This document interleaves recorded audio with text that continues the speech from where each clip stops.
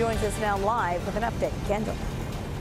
Hey, good morning, Catherine. Yeah, the fire crews have been here on the scene since about 4 a.m. Right now, still very active investigation here. You can see crews behind me uh, working to monitor hot spots as well as investigate the cause of this fire. Now, we're here at the 3100 block of Radabaugh Road in Madison Township.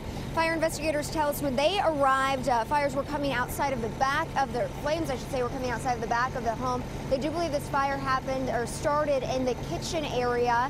Uh, Madison Township was the first to arrive. They called in crews from Monroe, Trenton, and St. Clair Township, but still investigating the actual cause of this fire and how this happened. Now, there is good news here this morning. The family that lives here was able to get out safely uh, as fire crews arrived. No one injured in this fire, but of course, we'll continue to keep you updated on how this happened here this morning. Kendall Harold, 9 on your side, live in Madison Township.